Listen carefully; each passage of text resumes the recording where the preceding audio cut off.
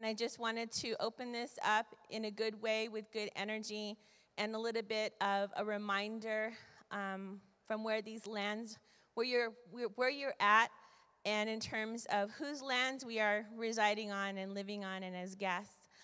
I want to acknowledge all of the ancestors that have come before us from the Ute tribes, the Cheyenne tribes, and the Arapaho tribes. All of the tribes that passed through this way um, for migration, trading, and acknowledge that the territories of these ancestors and that these are still indigenous lands by Treaty of Fort Laramie of 1868. If you don't know about that treaty, please look it up, do some research. But these ancestors took care of these lands so that we could be here today and have clean water and have clean air. And now it's changing. But we need to be reminded that the seven generations ago thought about us, and we need to continue that responsibility. It is our responsibility to do that, not just the people who are from here, but everybody, because um, climate change is here. We have to work with Mother Earth. We have to move forward with Mother Earth because we can't overpower Mother Earth. And now Mother Earth is doing what she has to do to restore the balance. So we have to work with her. My Hopi people have um, prophesied that things have been happening for the last few hundred years and the land's been changing. And even my grandfather tracked the weather, he tracked things that were taking place, new insects that were coming and evolving. And so we knew this was happening. And our songs and our stories help keep that balance. Our ceremonies help keep that balance. But we can't do this anymore. It's, it's overpowering us and once we're overpowered, we won't have our language.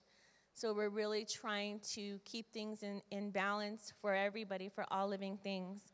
But all of the nations together are trying to unite to help Mother Earth. And I just wanted to say for all of you out there who are becoming earth warriors, earth caretakers, water protectors, land defenders, I thank you um, from all of the, the territories in this region and say, keep up the good work and get your hands in the soil because our genetic memory will wake up once your hands are in the soil. Healthy soil wakes up your nervous system. So, as an indigenous permaculturist and 12 seed generation seed keeper, um, this is something that you should be doing and helping Mother Earth to flourish all different types of vegetation. So I just want to say a prayer for good energy to share our knowledge, to share our wisdom for all of you, and again, acknowledge the ancestors that were here before us and all the future generations, seven generations to come, and all the babies who are unborn yet. So this is something that is very critical, is very needed, and powerful energy that we can move together, we can mobilize, and we can work with Mother Earth for all living things, not just humanity, not just humans, but all living things, because it's more important for Mother Earth to exist um, right now. And that's our responsibility as indigenous people is to take care of the earth and to take care of the people and to take care of all living things. So yeah. Creator, we thank you for allowing us to be here to share the knowledge and wisdom, to come together with good energy and good intentions. We come to you with humility. We come to you with requests of more knowledge and more wisdom, more skills, more tools, more resources, that we may be able to help Mother Earth and we may be, may be able to keep the living things on the earth and help support all of our ecosystems, protect the water, protect the soil, protect the land, and bring our knowledge together to unite all of us as one people. We are all indigenous peoples from different areas. We all have that genetic memory. May we use it in good, um, with good intentions May we acknowledge all of the ancestors who were here before us. May we acknowledge all of the um, generations, seven generations to come, and allow us to give us the strength, give us the power, and teach these skills and wisdom with the next seven generations and pass on that. It is critical. Right now, we have um, things that are happening in the world, lots of injustices. May we pull together to be able to do something about those injustices and stop watching them as they happen.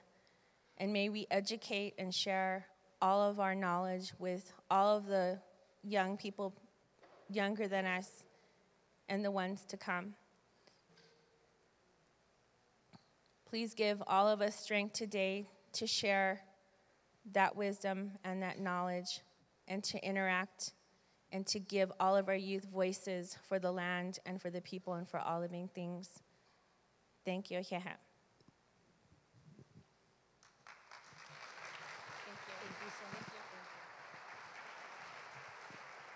So thank you, Shannon, so much for that.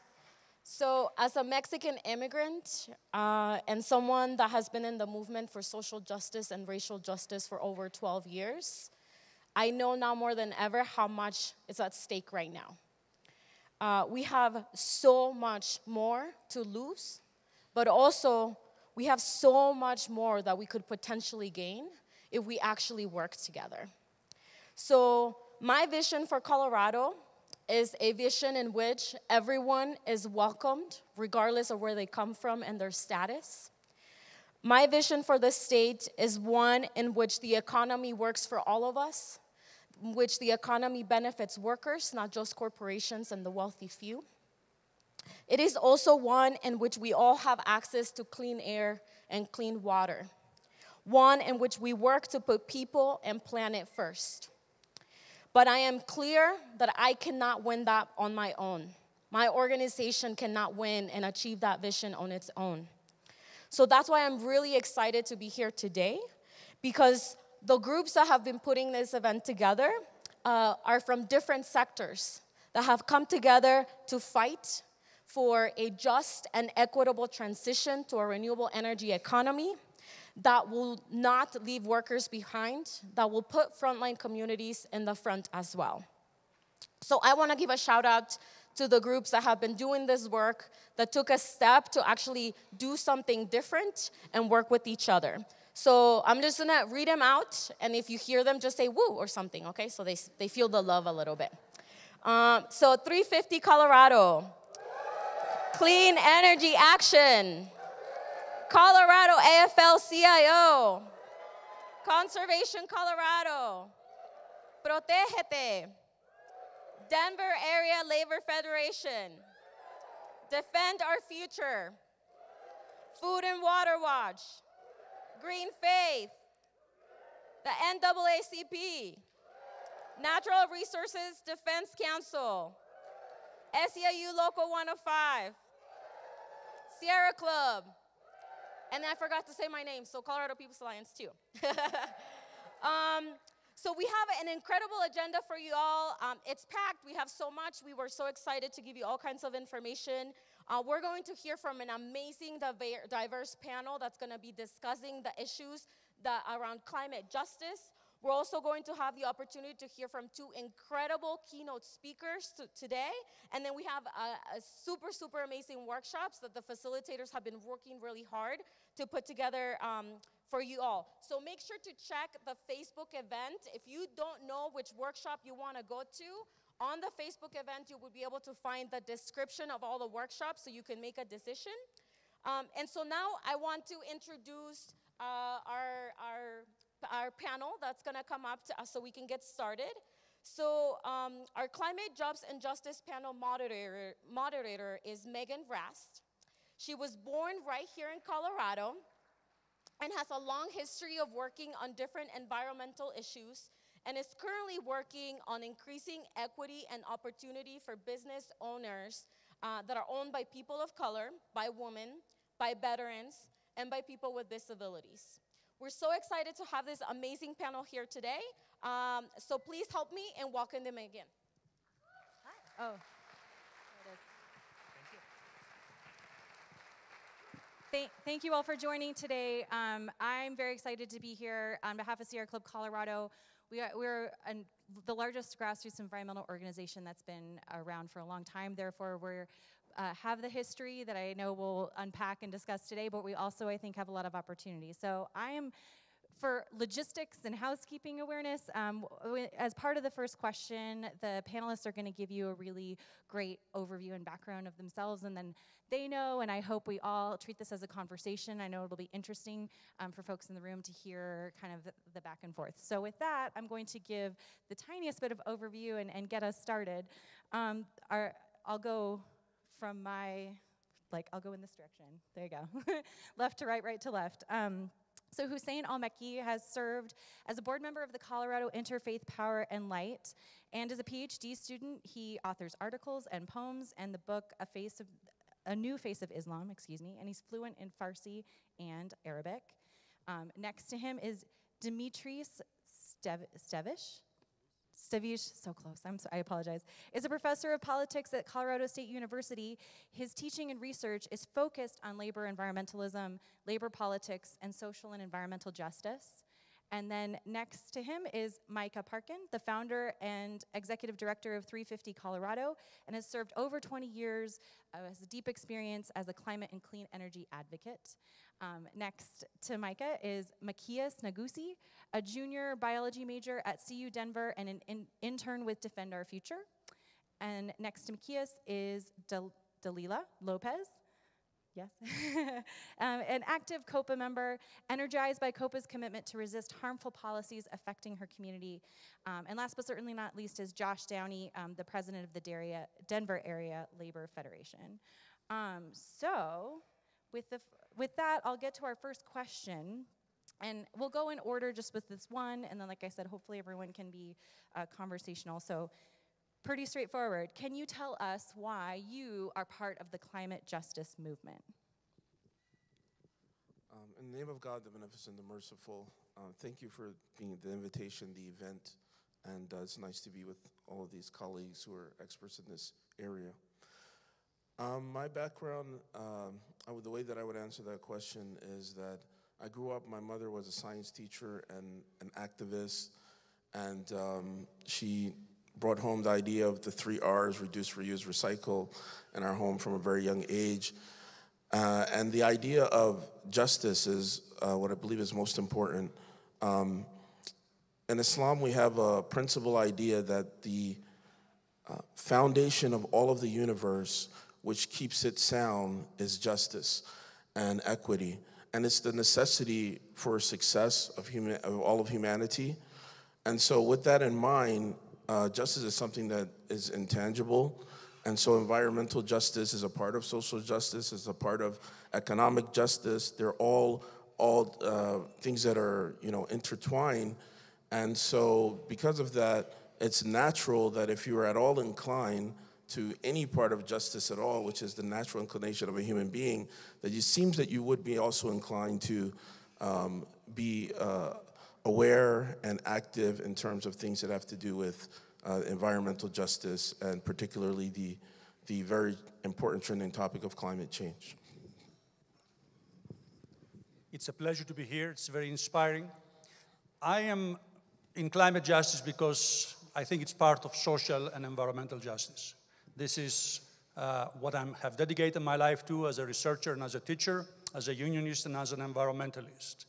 I think the pursuit of climate policy by itself or of social justice by itself are very, very important. But unless we combine them, we're going to get a very partial picture, a very partial vision of the future.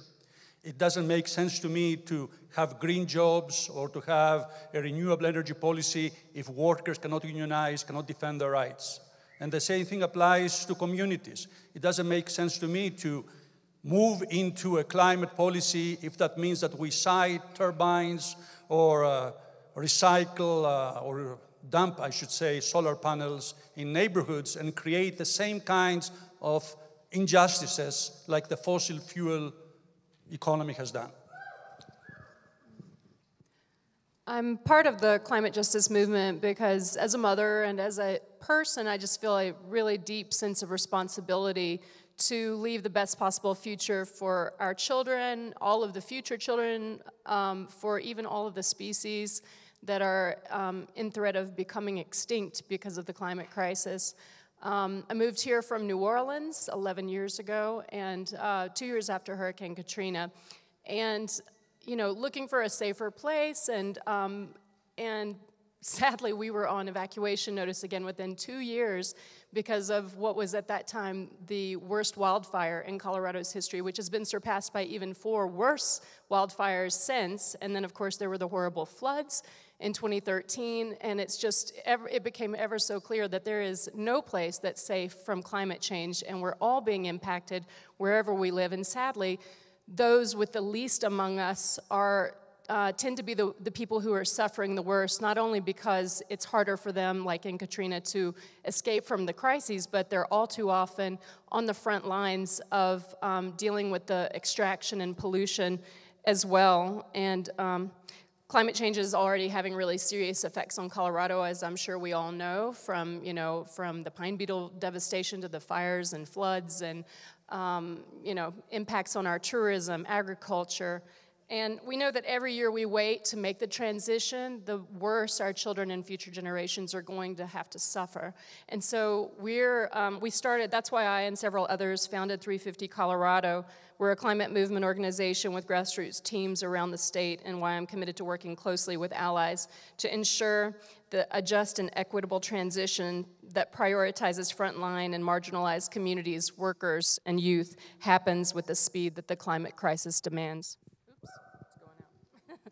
Um, I don't know. My, oh, that happens uh, with the speed I was saying that the climate crisis demands. So, what got me into the climate movement is, uh, first of all, the loss of biodiversity on planet Earth as a result of climate change. The rate of extinction right now on planet Earth is on par with the five mass extinctions in Earth's history. And that's frightening because our species is not separate from all other life on planet Earth. And we are very much dependent on that. Um, second, young people have a lot in stake uh, on this issue. Uh, it's not just about, you know, protecting beetles and protecting, you know, biodiversity. It's also our economy. Our economy is based on trading natural resources. So if we put those um, in, you know, in jeopardy, then young people have a lot to lose. And third, like the other panelists have, have mentioned, uh, minorities and communities uh, that are underrepresented on this issue are often the ones that have the, that see the biggest effects. They're on the front lines for experiencing pollution, for all of the you know mining and and you know uh, extraction operations are always near low-income communities, and that's what got me excited about um, fighting for climate justice. Hello. What got me involved, interested in uh, uh, climate justice is just drinking water, opening the faucet. Uh, I've been involved for a long time, first with uh, immigrant rights work and now in climate justice work.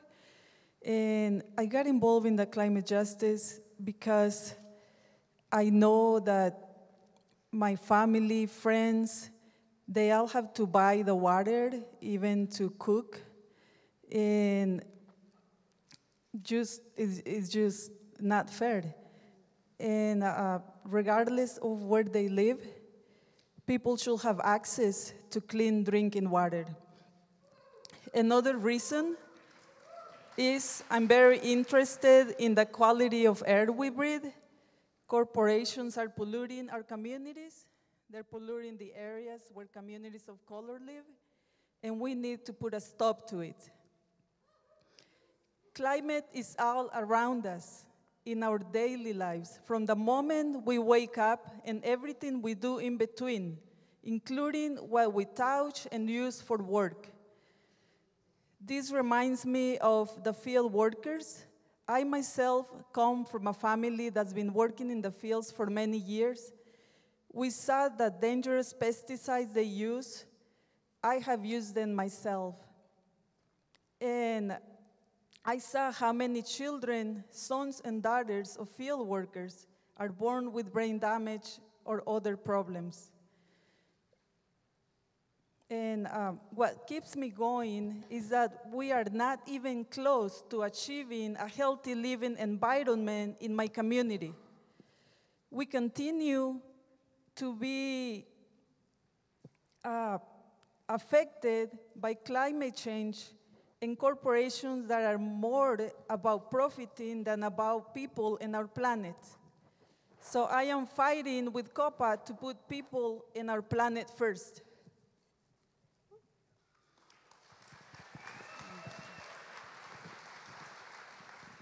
I, second all of that. Uh, good morning, sisters and brothers, friends. My name is Josh Downey. I'm the president of the Denver Area Labor Federation, and we represent um, 114 local unions in the Denver metro area, 90,000 workers. Um, and many of those workers work in the fossil fuel industry. They haul coal on trains, they work for Xcel Energy. Um, and, and, I'm here, um, and, and we are a part of the climate justice movement for two reasons. First, the short answer. The science is real. You can't walk out your door or look out your window. You can't turn on your TV without seeing environmental degradation. 120,000 acres of Colorado burning this year, you know, half of California up in flames, the polar ice caps melting. So that's the easy answer. But here's the hard answer. Um, frontline workers, those that work in, in fossil fuels, oil and gas industry, the coal industry, for example, have been left out of this conversation for far too long.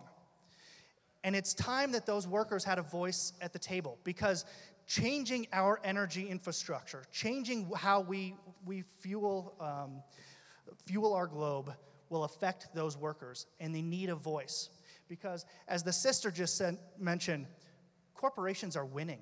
We think nothing. We don't bat an eye when, when our government subsidizes Exxon, Shell, or Mobil to the tune of $10 billion. We don't bat an eye when our government here in Colorado, our city government, gives $27 million for a corporation to come create jobs. And yet, when it comes to frontline workers who will lose their good paying jobs that provide health care and provide benefits and retirement security, we say, I'm sorry, we're going to throw you to the wolves. And that shouldn't be okay for us. That shouldn't be acceptable. Yeah, let's give a round of applause for everyone. I, um, such an amazing uh, amount of experience. And so we've learned the powerful reasons why you all are part of the movement, but interested to know, you know, what keeps you as part of the movement in particular, because it can be a long journey and obviously there are challenges. So what keeps you as part of the movement? Anyone? Popcorn. just seeing the like the first speaker in her prayer said just seeing every day the damage that we are doing that corporations are doing big businesses businesses and it's, it's just sad. It's just sad and, and it puts uh, people's lives in danger. And it seems like they only care about money not people I would just say a deep sense of responsibility. Again, just, you know, future generations are counting on us. We have to. There's no choice. And also just all the wonderful people who are part of the movement keep me going. Yeah, I would just, I would add to that that, I mean, we are in a way um, living in an exciting time. You know, one of the, um, looking at the glass half full aspects of a lot of negative, you know, uh, political tension and things that are happening is that sometimes that's the wake up call that's necessary. And that's what gets people, you know, really um, encouraged, it gets the fire burning under them to do something. And we're seeing across the board a lot of people who are opening their mouths, who are raising awareness, who are saying things, who are coming to events like this. So, I mean, I think it's an exciting time, and that's something to, to uh, be mindful of right now. I think that one has to make a choice in life and decide who they are with and who they are against. And I have chosen to be with this group. It's more fun, it's more innovative, it doesn't forget, it doesn't think only about itself. And in particular, in a place like this, in a process like this, uh, the climate justice, jobs and justice, that's trying to bring together a variety of different stakeholders to give voice to groups that are, as Josh said, are at the front line. They need to be given voice.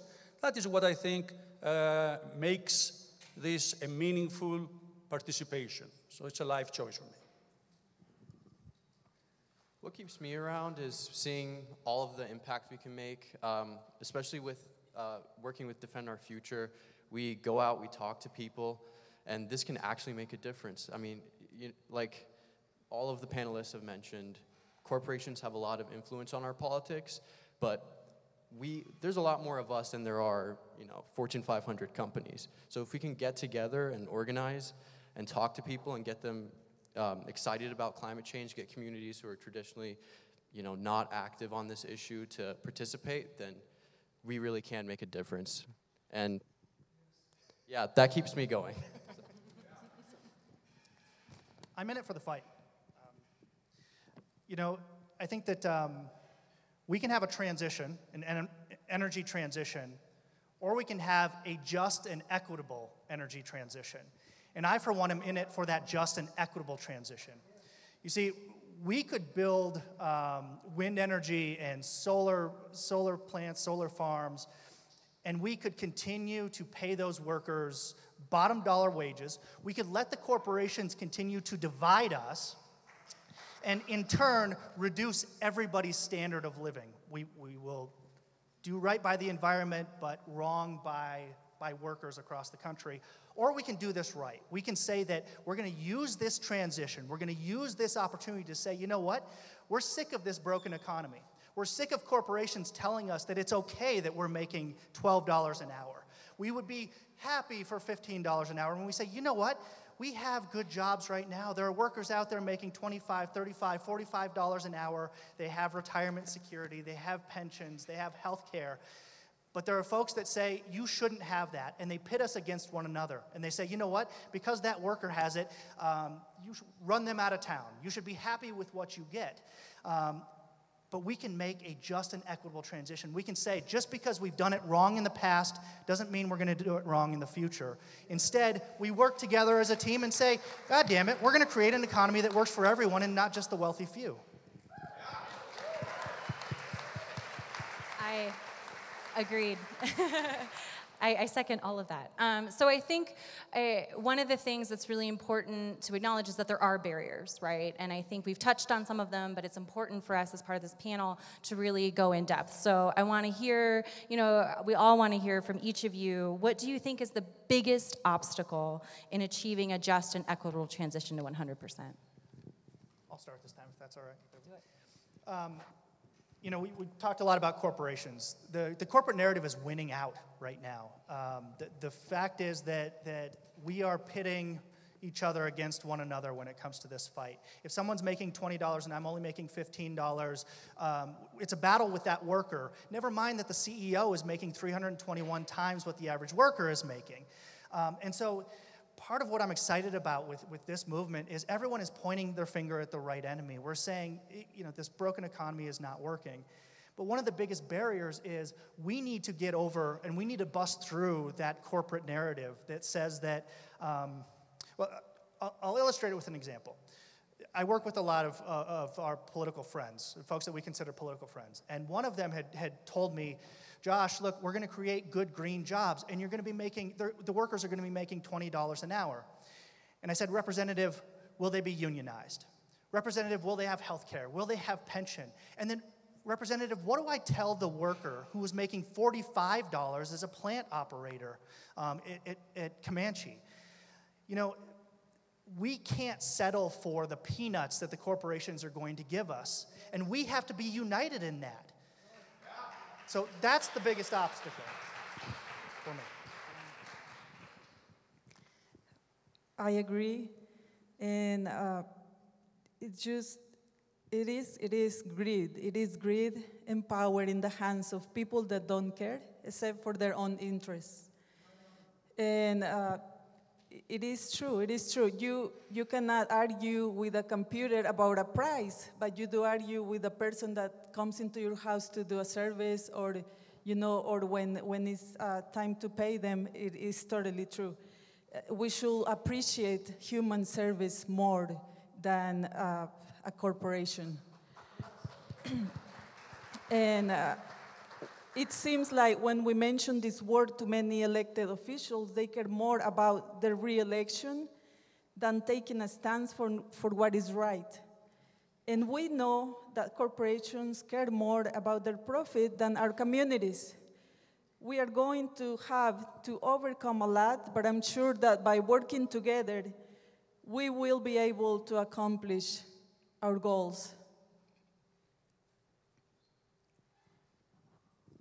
There were some other topics on, yeah, the industry and I, it is very possible to say that a major obstacle is the fossil fuel industry and its supporters and the corporations.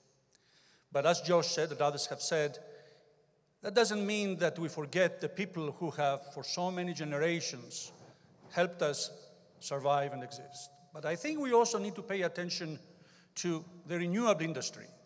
Because if the fossil industry keeps us from having climate policy, the renewable industry is not particularly kind towards a just green transition. Many of them, all they want to do is to produce green products with non-unionized jobs in communities that are vulnerable to them. So we are faced with a major dilemma, and I think we are moving in the right direction. Do we want to be like Texas, produce the most renewable energy in the country, but devastate the environment? Or do we want to move in a direction, let's say, Washington State, and work for a just green transition together?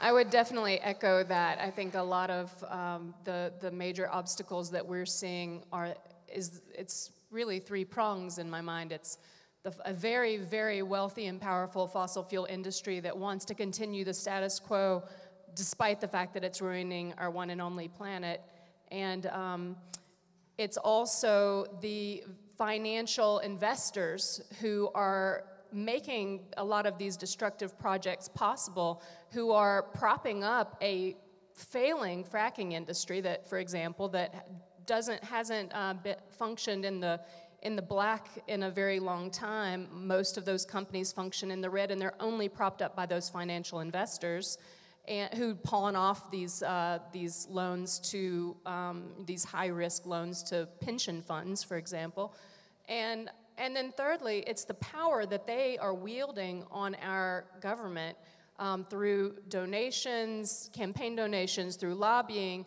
and which has sadly turned, I think, our democracy largely into a corporatocracy or a plutocracy. And I think it's going to take an extremely powerful movement of people to stand up against that. And thankfully, we, I think we have that. It's growing, it's building.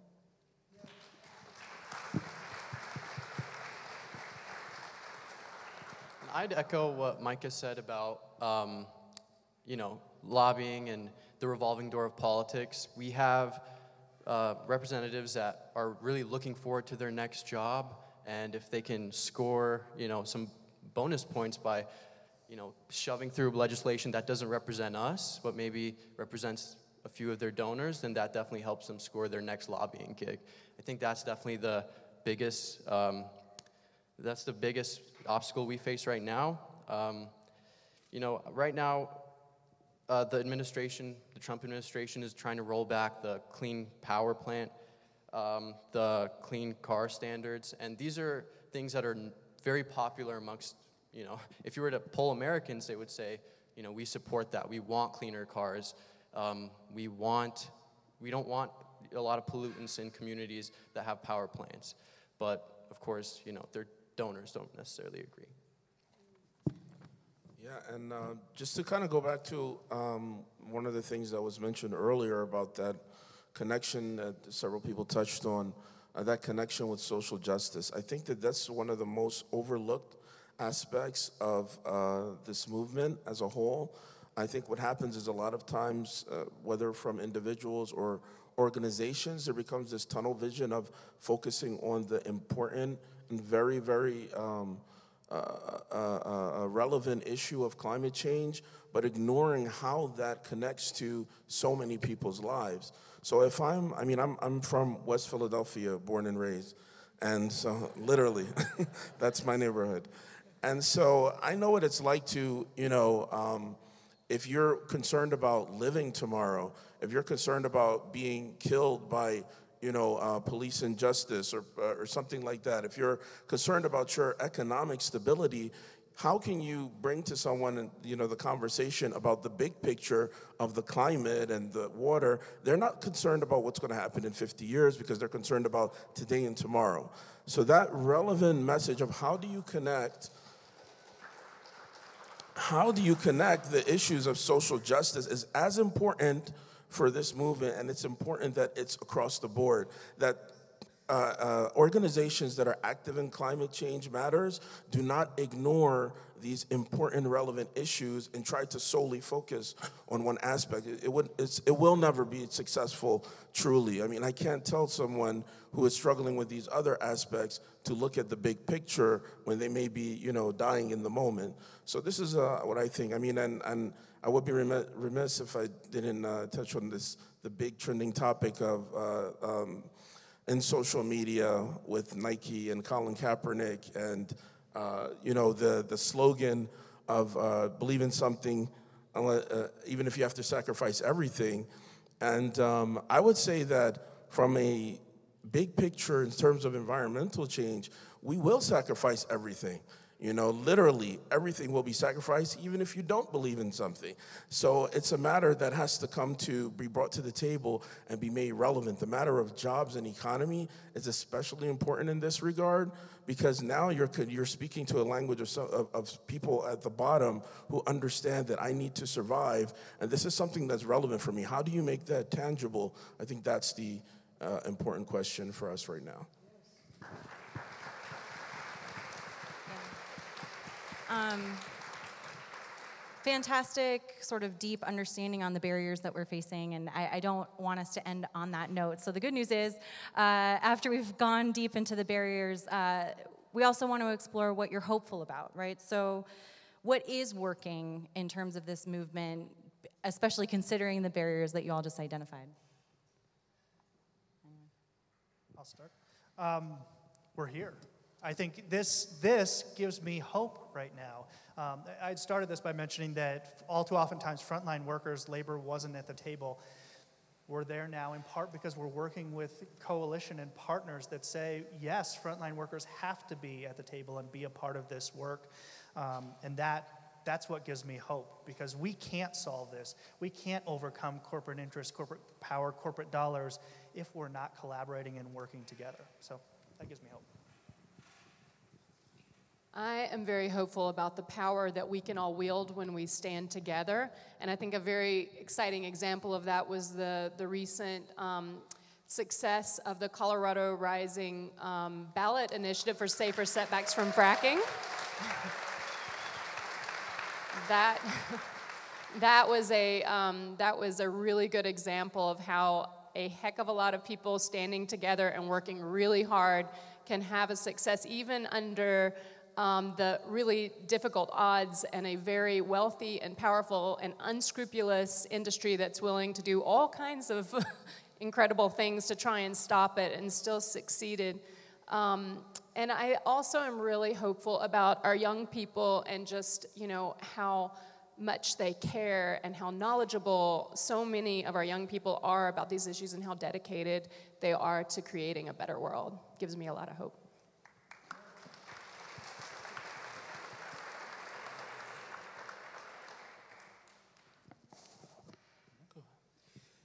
I want to reflect what and echo what I just heard. I think that being together is very, very important. Collaborating is very important. But I think we have to go beyond collaboration. I think we have to internalize each other's values. We have to become one. Collaborating every so often is not enough because the powers that be have permanent power, long term power. We cannot just confront them every so often. But the more we talk to each other, the more we internalize each other's values, the more we form a comprehensive long-term political agenda, the more we will realize that it is the same people who violate both social justice and environmental justice. And they have been doing that for a long, long time.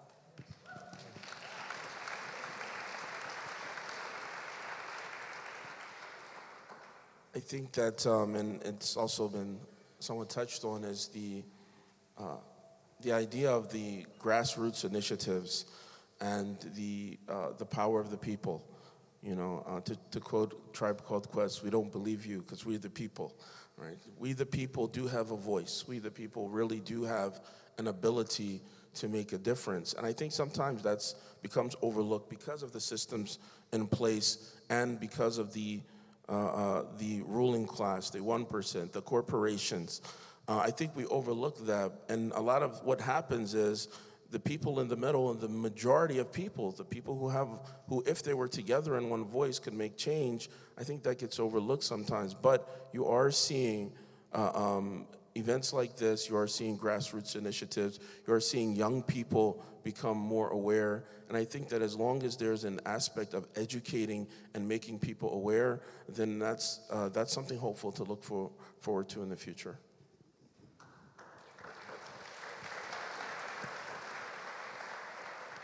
I'd echo what everybody else said. Grassroots movements, we know that talking to people works. When we go out um, and canvas, we know that that is much more effective than TV ads or ads on social media. So that's really what's working, and that's what gets me passionate about the work we do because we go out and we make people energized. Um, what's also working is changing the narrative. I think in the past it used to be, oh, you know, renewable energy is so expensive or you know protecting our environment is so expensive. But what we're doing now is what's expensive. We're subsidizing oil companies. We're we're hurting workers just to you know profit the very few at the top. And if we get together and really you know make sure that we make our voices heard as one and unite on this issue then i think we can really succeed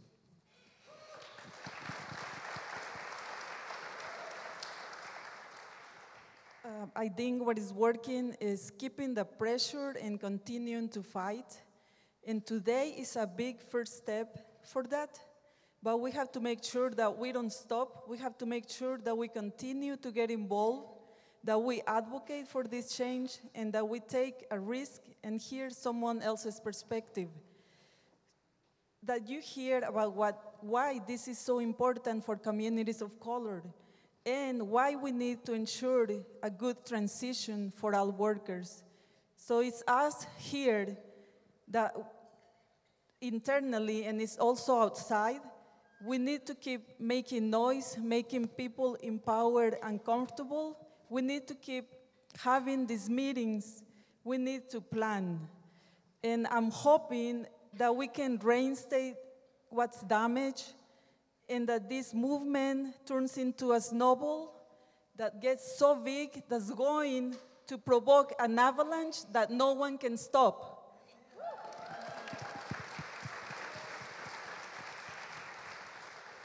We need a climate revolution that even the most oblivious can understand.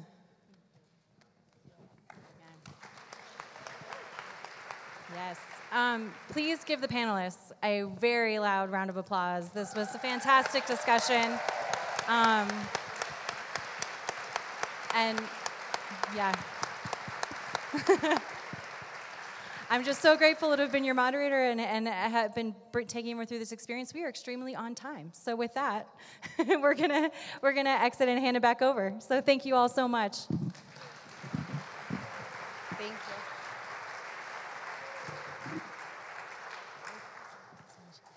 That was so powerful. So let's just give it up one more time to our amazing panel. Um, I think sometimes you go to a lot of different conferences, right? And you hear panels and you're like, yeah, that was good. But this one, like, freaking whoa, y'all. Like, that was powerful and inspiring, right? Um, hopefully, I'm not alone in that. I think that was pretty good.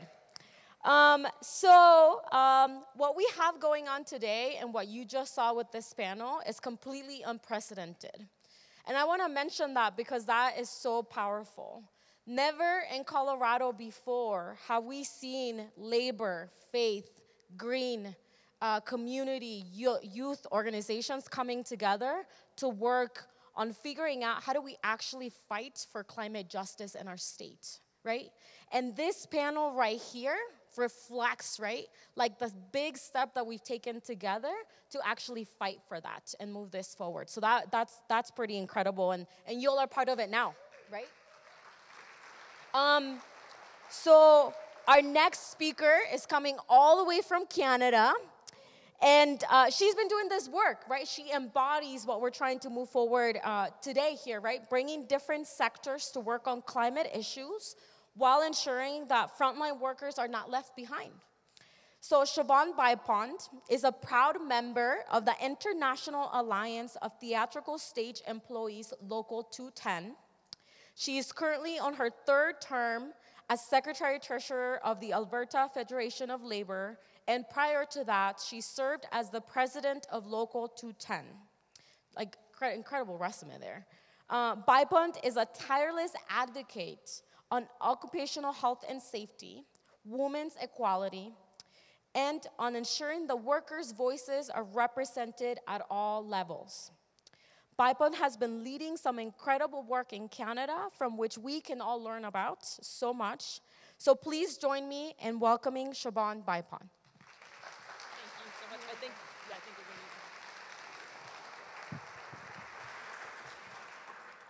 Thank you so much. It's um, quite a pleasure to um, be here and uh, quite an honor. Um, and I'd like to acknowledge that we are gathered on traditional lands of the um, Arapaho tribe and home to the peoples of the indigenous nations native to Colorado, which include the Apache, the Comanche, Shoshone, and Ute. And it is in that light that we are here gathered together to try and make sure that we are taking this land and moving forward responsibly.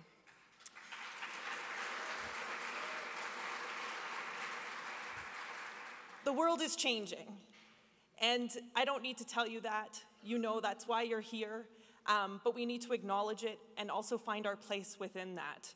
The world is changing in so many different ways, and everybody here has, uh, will live the causes of that. We will live the damage that it does, but we also need to live what our responsibility is within that. There are economical reasons, there are political reasons, as well as environmental reasons of why we need to move forward on environmental change. I come from Canada, and fortunately, the numbers of people who believe in climate change are significantly different than this country. And so, but I know where I am. I just heard that panel, and everybody speaking was inspiring and everything they were saying, so I know I'm in the right place, so I can skip all of that part. So let's just move on to what our experience has been in, in Alberta, where I live, um, just, well, not just north, but north of here, um, and, and, and uh, uh, as well as what's happening across Canada. In Canada, currently, we are in the process of, of shutting down all of our coal um, generated electricity, um, and that will, um, there you go. Um, and so in, across Canada, it needs to be shut down. Um, in Alberta, it needs to actually get to zero emissions by 2030. And we are in process of doing that. There's a misnomer that happens, um, just to give some context, Alberta is traditionally one of the most conservative um, provinces uh, within Canada. Um, and we previously had a, quite a conservative government, though you've set a new standard. Um, but but it's been 10 or 15 years of these policies being introduced. So our previous conservative federal government, um, in Alberta we have um, 18 um, generators that are coal-fired, and uh, they had introduced policy, um, not a plan, um, policy that meant that 12 of those had to shut down by 2030. Recently in Alberta in 2015, after 44 years of having the same conservative government, we elected a worker friendly, labor friendly, people friendly government. And they have since come, yeah, that is worth And they have come out with a climate leadership plan. And in that plan, that means that the remaining six um, generators will also be shut down by 2030. That has a huge impact. Yes, it has positive environmental impacts. There is no doubt of that. But it also has huge economic impacts that need to be dealt with, they need to be discussed, and they need to be ensured that that's part of it. And that's why I make, I make it very clear that the conservative federal government didn't have a plan. They just said they were gonna, they were gonna, they had to stop. That was it. There was no money, there was no plans, there was no discussion. So through this climate leadership plan, what we have done in Alberta is that we um, are looking at the long term, yes, but also what the short term means.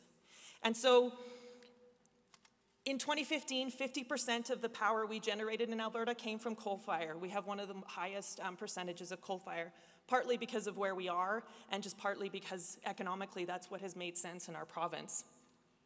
So this climate leadership plan includes a carbon tax, and that carbon tax means that um, like we all pay it, but anybody who makes, um, I think it's less than 80,000, don't quote me on the number, sorry, but the majority of working people get that money back um, because it's not, it's kind of a, you know, a moving of money. And so that those who can afford it are paying for this change. And that change has lots of lots of programs and some of them are small and some of them are big. Some of the smaller ones is right now that if you phone sign up for the program, they come to your house, they change all your bulbs to LEDs, they change your thermostat, they change um, your power bars, your water, just to try and make sure that every household is maybe reducing their power to a certain point. And that's a free program for everybody because it's paid through this program.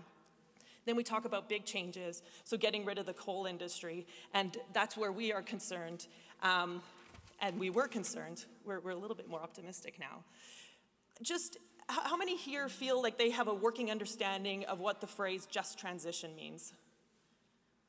Okay, there's no judgment from here. When we started this process, it was almost disappointing because when we knew the climate leadership came out, our president, Gil McGowan, he started what we call the Coal Transition Coalition. Try saying that five times fast. Um, and that was made up of all of the unions who had workers in the industry. Um, so it was a lot of our building trades, um, our electrical workers, our utility workers, um, to get them to the table to go, what are we going to do to make sure that our voices are heard through this process? At the same time, the government was consulting with indigenous groups, environmental groups, companies, um, communities at all levels um, to ensure that whatever their plan was, was one, had to be bought into because that's politics, but also to ensure that nobody was getting left out of the conversation. And so when we met at the table, we clearly said we want just transition, and how we start every project is then we did research. And it was amazing to us how there are some examples across the world of where this sort of worked, but there wasn't like a glowing example of where it all worked. Because the reality is, is that these changes have been happening and it has been sometimes on the, work, on the backs of workers. And what I mean by that is what we mean by just transition is that the world is changing because of what corporations, and we heard like because of greed or because of politics, this is all changing. And we all have a responsibility to do it. But it is not the few hundred workers at the Highvale mine who need to pay the entire burden of this change. And so we need to have justice. So this just transition means that we need to all look at it and make sure that these workers who have not profited off of this industry. They have made a living, been able to support their families, have supported communities, and now we say, you don't deserve that and you are the ones who have to pay that price. So this is why just transition is so important. This is really was the priority of the Coal Coalition. Now, I know you all probably know a worker that you've talked to who is resistant to this change, but I hope that you have empathy to understand that what you're asking that person is to now give up their job, give up their ability to support their family, and give up what maybe they identify as, because somehow them giving their labor for hopefully a reasonable wage was not a, is, is too much. And so now we're saying no. Now you can't have that and we don't respect that. So I think we need to show some empathy to that. And then we also need to show some leadership in the labor movement and say we need to know what the world is and the way we want to see it. And now let's, how do we get there? And so that's why I'm here, is to talk, because we've had some successes in Alberta about how this coal transition um, is happening. And as you all know as activists, the work is never done. There's always more to be had. But that right now, we are very happy with how far we've come. And so this process about transition, we wanted to talk about a few different things with our government. Now, the reason why politics and you probably know this is so important, but we didn't start the conversation trying to fight in terms of why a worker's at the table. We started with being at the table, being a part of the process, and then being actually able to talk about the changes that need to be taken into consideration. One of the, so the program helped out, it helped out the you know, the owners of these plants and the investors so that they were going to get money about their stranded assets. And so one of the town halls that we had in one of the communities, one of the workers stood up and he's like, What about my stranded assets? He said, I bought a house in this town. This is a coal town. This town is going to fold and my house is going to be worth nothing. And so we listened because that is a very important point. Stranded assets isn't owned by rich corporations. Stranded assets is about investing whatever it is. Whether you buy a house or even you invest because your kids are out of school, you have to be compensated for that in some way when we look at this. The other, so our demands were, I'm saying demands, that's very harsh. Our asks, we were very nice about it. We're Canadian. um, was to provide good jobs. We needed to replace family sustaining union jobs with family sustaining union jobs. This isn't to put, yes, absolutely. The towns that are heavily affected by this, I'm sure it's the same here in Colorado. You drive around, right? We got like, you got the coal town, there's the train town, there's like forestry town. Like these towns are sustained by usually one big industry. And so they have a lot of a struggle in terms of what they're going to do and what they're going to identify. But telling everybody at the coal mine that they can start working in retail or a low paid industry, one is there's respect in that, but it's not equivalent because we, we haven't got those wages to a decent, so these are not replaceable. This is about replacing good jobs with good jobs. And also keeping in mind um, what we had as our second is that it has to be, there has to be education, there has to be training, um, and there needs to be counseling to help people work through what that means. We also, um, we needed financial support. This couldn't be a piece of paper saying this all sounds good and it's magically going to happen. It needed real money, real investment, and also deliverables that were going to be shown over time. We also wanted to see support for communities. And as a worker organization, um, obviously by supporting workers, you're supporting the communities. That's what communities are. But the people at our table were very concerned because so many of them were telling us stories about if we don't live in our town, who's going to the local restaurant? If we don't live in our town, then the, the school will not be able to, like, majority of those kids are, you know, kids of coal workers or related industries. And so they were very concerned that we had to make sure that there was good programming and good investment to make sure that these towns were able to survive so that they also had a just transition. We also wanted a tailored plan. It couldn't be just, again, that empty words. It needed to be tailored. It needed to actually be specific to communities, specific to the type of worker, and make sure that everybody came out ahead. And then our last was that in order for a just transition to be successful, both government and the employers had to be reasonably involved, but also buy into it and take on responsibility because we couldn't do this alone. I am very happy to say that the government delivered on every single one of those. Um, and yeah.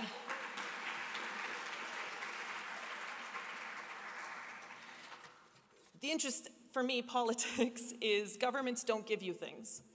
They don't just hand them out. They give them if they're demanded or if they think they can win an election on it. And so, again, like I said, we have a great government. We were already halfway through the conversation, which was awesome. But what ended up happening is that we had income support to reemployment. Um, totaling 75% of previous earnings for 45 weeks to assist people. Um, we, had pension, we have pension bridging um, because many of these workers, especially if you're within 5, 10, 15 years, are you really finding another career? But you have a pension, but then you'll lose your pension because now you have to draw on it. There's so many aspects of that. So then this was part of the program, which, which was pension bridging. There's tuition vouchers for up to $12,000, and this is something that was extremely important because we want to make sure that, again, this isn't about downskilling. If someone wants to take that 12,000 and go become, I don't know, a labor lawyer, then they should be allowed to do that. This isn't about judging people and saying you have to only be here in society. No, if we're saying that you need to continue on in a job, they get to choose what that is, and education vouchers happen. There's a workforce adjustment service, there's on site counseling um, for people, and we haven't stopped making sure that this is delivering, and that means listening and talking to workers. So, where that leaves us is that we all have a role to play. We had success in Alberta, but it's not ending there. There's going to be sunset industries everywhere because of this transition that we need to start taking, and this needs to be just. Because there cannot be any environmental justice if we don't have economic justice and we don't have worker justice. Those go hand in hand.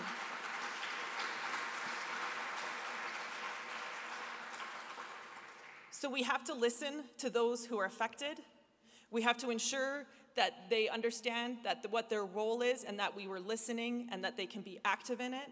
Any plan that is somebody from the top telling us what we're dealing with the workers is not good enough. Workers at the table, green at the table, indigenous people at the table, people of lower income are at the table. This is a decision making and it's extremely important.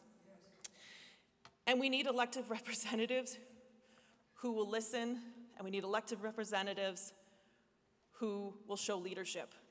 And so there's a lot of work to do on that file, but it is real. And then once we get those elected officials, then we demand more and we push them because then they will give what we are going to need. So when we, we need to organize and we need to make room from people. And so where I come from in Alberta is Treaty 6 lands. We are all treaty people, and at the Federation of Labor, we practice um, what is called Tatawa, which is a Cree word that means welcome. And to me, it speaks so true to what we're doing here. It doesn't just mean welcome. Tatawa means welcome, there is room for you. The only way we are going to have a just transition is if we make room for everybody who is affected by this and we share the burden of it, but we will share the rewards when we know that we are stewards of this land the way we should be. Thank you.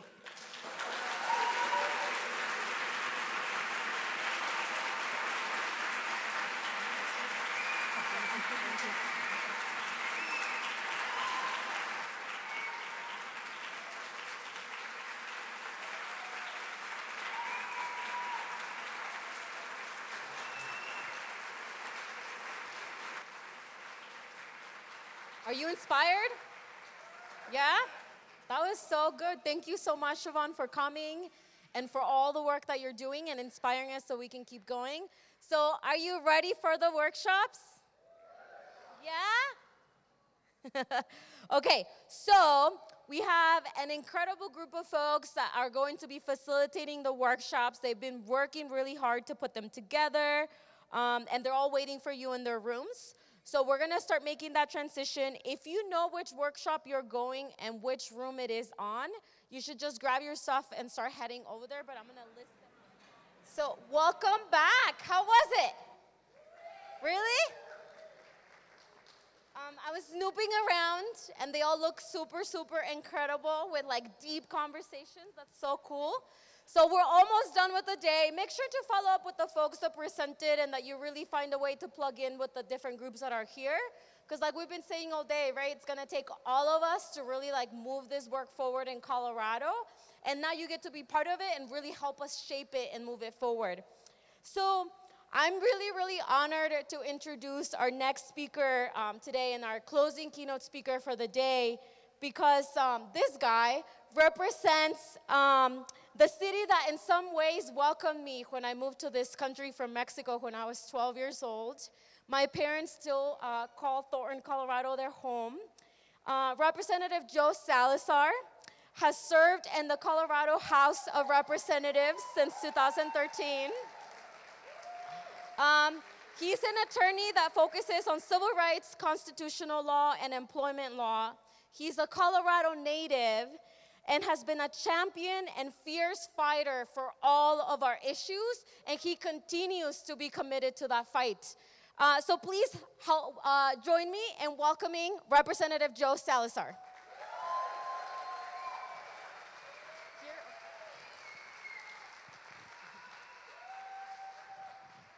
What's up, people?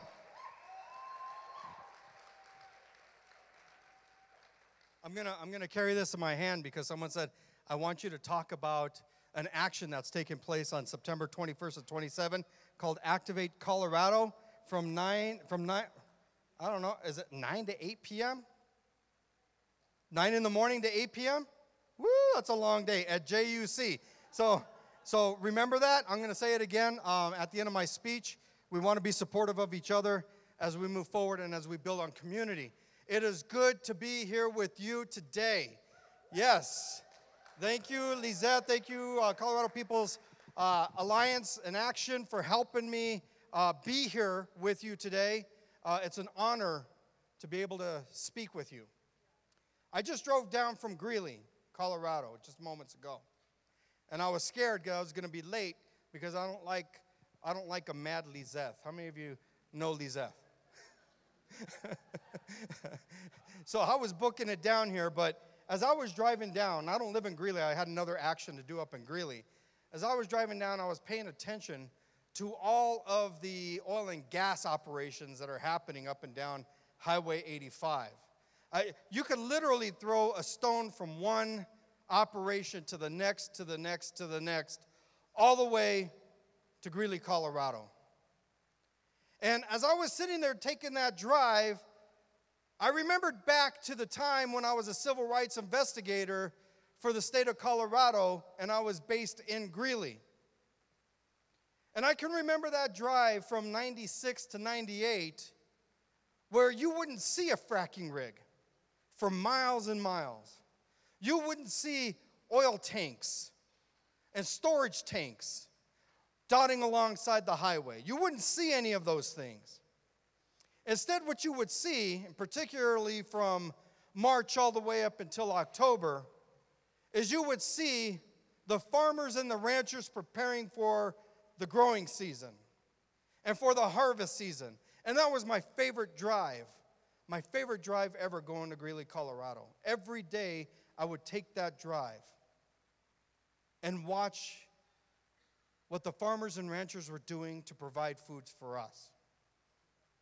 And so it stands in stark contrast right now that as I'm driving up there, I saw less in the way of farming and ranching and more in terms of oil and gas production. And I know that these activities have increased the amount of pollution that we are experiencing in the state. In fact, the one industry that is causing the most pollution in our state. And I started thinking too about how this one industry is gobbling up all the water that we need to sustain life in this state. From our farms and our ranches, and even to ourselves. And how all of this water resource that they're gobbling up can't be returned back to its natural cycle. That it is so fouled that they have to pump it deep into the earth. And how, when they do these injections, how these injections cause the earthquakes that we are now starting to feel in Colorado. Very much similar to what we've seen in Oklahoma. And how, as a result of earthquakes, we see that there are now there, there's now property that are, that's being damaged because of it. And in Oklahoma, we have seen how uh, people have been injured as a result of these earthquakes. But as though, as though that's not enough, we also see that this industry doesn't take care of the wells that they did pump. And we have what are called orphan wells. And how it wasn't just too long ago, just a few months back, while I was in session on the floor of the House of Representatives, that an orphan well was belching thousands of gallons of oil onto a state highway in Berthoud, Colorado. And as though that's not enough, that we have had explosion after explosion after explosion throughout the state of Colorado because of this one industry. An industry, as we are now learning from their stakeholders as well as their employees, their whistleblowing employees, how this industry is forsaking the safety and the health and the welfare of their employees and of people and of the environment for profits. This isn't anything that I'm making up. This is something that you could Google about in the news right now, and you would find article after article supporting what I am saying to you. And as I was driving, and I, and I went up to go support a friend of mine who's running for an office up there, as I was driving, I thought to myself, my God, my God, we are in dire need of heroes. We are in dire need of those heroes, those elected officials, those community heroes who are rising up against this one industry that is affecting everything else in the state of Colorado. I mean, let's think about it. Let's think about it just for a second. The industry likes to say that they, that they employ or that people are employed as a result of the industry, and the amount of the number is 328,000 Coloradans. That's not really the number. The number is around 54,000 Coloradans, right? But when we take a look at the outdoor industry, outdoor recreation, and the tourism industry that employs hundreds of thousands of Coloradans in this state. When we take a look at the farming and ranching industry that employs hundreds of thousands of employees in this state. When we take a look at our, uh, our, our service industry, particularly in our mountain towns, that employ tens of thousands of people across this state. It is this one industry that seems to take the ear of the elected officials at the state capitol, in our local governments, and with our county offices. Why is that? Hmm. What? Money? I wondered if you Googled the amount of donations that the oil and gas industry has given over a period of four years, how much that would amount to. Anybody know? It was $80 million in Colorado alone over a four year period. Imagine that. Imagine that we have debased ourselves so much as a society that we allow one industry to affect all others. That we allow one industry to infect all others like a virus, like a parasite, like a vampire, like the Nosferatu of 2018, like the chupacabra of our time. That they suck everything from us and make us ill but yet no one has found the stake to put in the heart of this industry. And don't tell me that we can't. Do not tell me that when we were able to put people on the moon in a period of five years, that we cannot figure out how to do renewable energies and wean ourselves off of this fossil fuel industry. Do not tell me that we are not capable of doing such things. Our species has been defined by the tragic and the heroic. We have done some horrible things, but we've also done some mighty, powerful things. Do not tell me that we cannot bring back that level of intelligence and creativity and good thinking for renewable energies. Yes, we can. Sí se puede.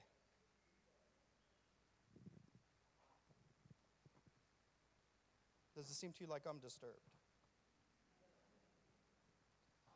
I am.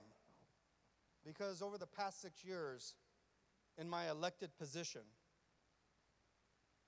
I have sought common ground with other elected officials to help us out with this and I have done it for purpose. I am indigenous to this land. And. I am Apache here, and I am also Spanish. My Spanish roots go back 400 some odd years.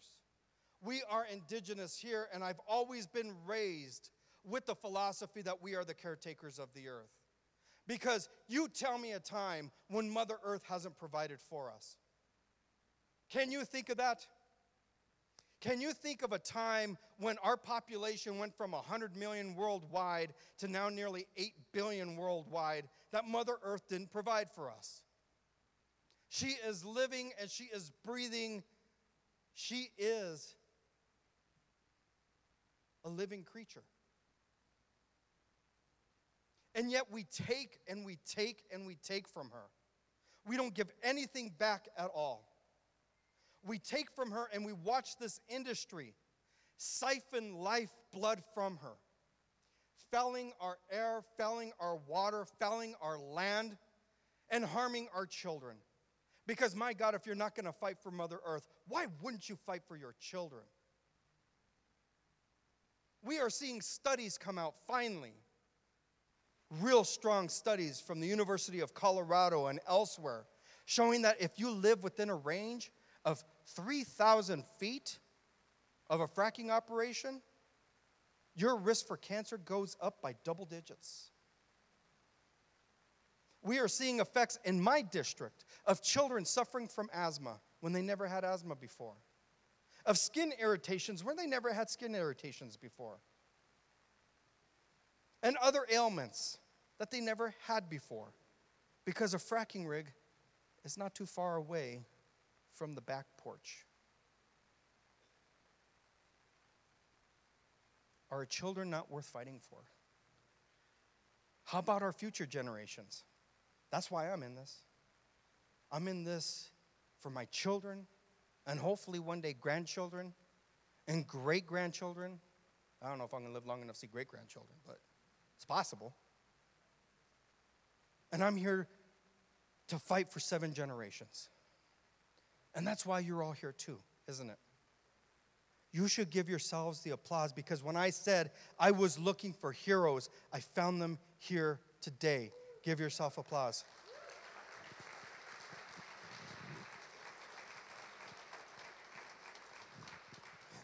Now, I know someone's going to hold up a sign saying, Representative Salazar, you have five minutes. I got to tell you that these lights right here, I can't see anything, and with the reflection coming off my bald head, I certainly can't see anything. Where are you at? There you are, cool. so, how do we fight back? What makes us the heroes that we were born to be? I mean, because you do know that you were born for this moment, right? That absolutely everything that your ancestors have gone through, absolutely everything that has resulted in your DNA, absolutely everything that has resulted in your creation to live in the 21st century, to live and breathe in this auditorium in 2018 is because you were born to be here. You were born for this moment. And what does that mean? Being born for this moment. It means that you were born to be the warriors that we need. You were born to be those heroes that we need to move forward, to fight against the mighty dragon. And it is. It is a mighty dragon that belches all sorts of things. But you have something even more powerful than that. You have the power of the human spirit and you have power of human knowledge. You have the ability to educate yourselves and to become an intellect in this area and to do one thing that no other country enjoys quite like we do. Although, after this last election, maybe we're questioning it. It's the power to vote. It's the power to vote and the power to hold people accountable. Now, I was well respected at the state capitol, but I wasn't well liked. I'm just going to put that out there. And the reason why I wasn't well liked is because it wasn't my job to make friends at the state capitol. It was my job to hold people accountable, just like community was holding me accountable for being a state representative. But that's your power, right? As, a, as an elected official, this badge right here, this badge, the, the influence of this badge is an illusion. And that's what elected officials need to understand is that you're in the position not because of your sheer magnificence. You are in the position because the people said you can be in that position. You are the power, the influence, do I really have to stop? You are the power and the influence. You are the ones that get to vet the candidates before you vote for them. And you need to do it better. Because I've been at every single meet and greet that maybe some of you have been in. And I've listened to the questions and I've seen the politicians dodge. And you need to stop having politicians dodge you. You need to stop having politicians avoid your questions. You need to look at them in a group and stand with them and say, We will not vote for you until you answer our question.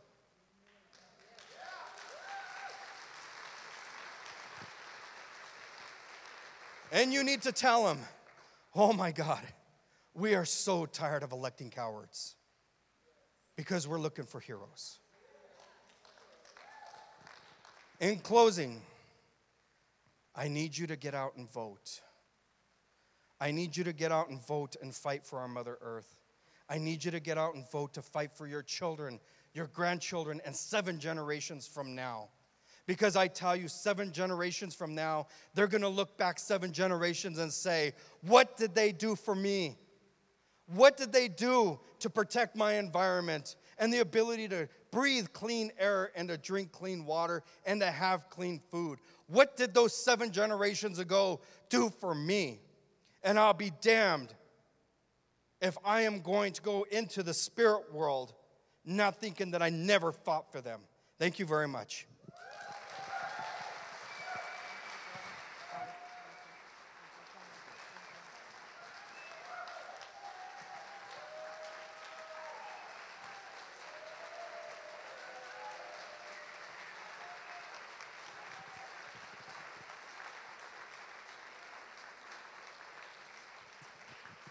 So I wanna, that was amazing, right? Um, so I wanna ask our coalition partners to come up, please. Um, Juan, Jessica, and Dennis, the mics are waiting for you.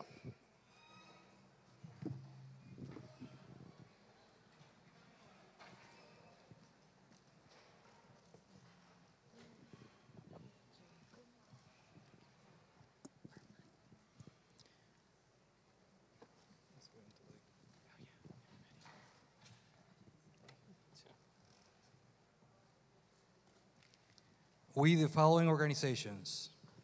350 Colorado, Clean Energy Action, Colorado People's Alliance, Colorado AFL CIO, Conservation Colorado Protégete, Denver Area Labor Federation, Food and Water Watch, Green Faith, NAACP, Natural Resource Defense Council, SEIU Local 105. and the Sierra Club. Are committed to collectively working to move Colorado to a just and equitable transition to a renewable energy economy that protects frontline workers, communities of color, and those most impacted by climate change and pollution. Our collective commitment began this year and continues for the rest of 2018 and into 2019. Thank you all so much. We wanted to make sure to read a commitment from us to continue the work and to invite you to join us as we really work together as a collective to move Colorado to a just and equitable transition. Thank you so much for being here today. Uh, please make sure to go out there and talk to people about the work um, that's happening um, in their organizations to get involved. Fill out those pledge cards. We will be email, uh, mailing them back to you right before the election. Uh, like Joe said, right? It starts here, it's in the streets, but it's also in the voting, uh, voting booth. So we have to make sure that we move this work forward. Thank you so much. Uh, please stick around, talk to us, and get involved. And we're looking forward to seeing you as we continue this fight. Thank you.